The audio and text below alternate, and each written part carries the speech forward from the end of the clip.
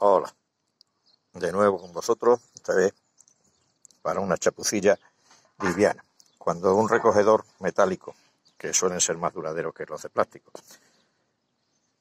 como consecuencia de su uso y de que a veces se mojan, pues termina por irse las sujeciones que sujetan el palo, el hierro que sube, se van, se oxidan, se rompen los remaches y entonces caben dos cosas, o tirarlo a la basura o hacer lo que hacemos en este, en este canal, repararlo, reciclarlo y que continúe trabajando.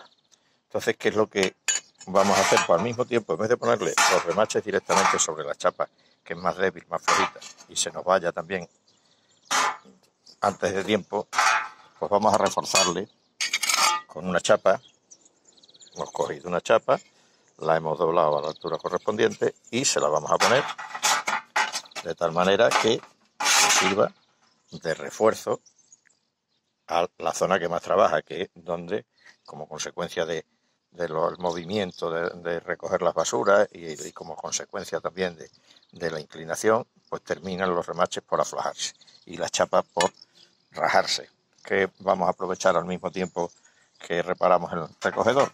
Vamos a poner esta chapa y sobre esa chapa le vamos a poner la varilla de sujeción, con lo cual quedará bastante más sólido, bastante más fuerte y nos durará más tiempo.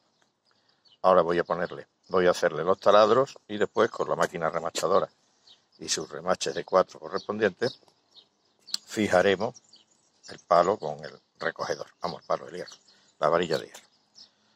Ahora cuando lo termine os lo vuelvo a enseñar. Y ahora ya le hemos puesto los remaches, hemos sujetado el hierro con la cazoleta y nos queda perfectamente arreglado nuestro recogedor, reforzado con la chapa, los remaches, si no tenemos remachadora, pues también nos, nos valdrían tres tornillos con tuerca, solo que la remachadora trabaja más limpio y más rápido. No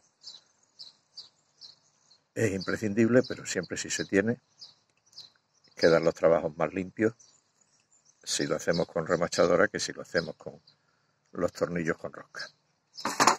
Y con, Bueno, pues veis que todo tiene solución, a todo se le busca su apaño y se le prolonga su vida útil. Si os sirve, facilito de hacer. Gracias y hasta la próxima.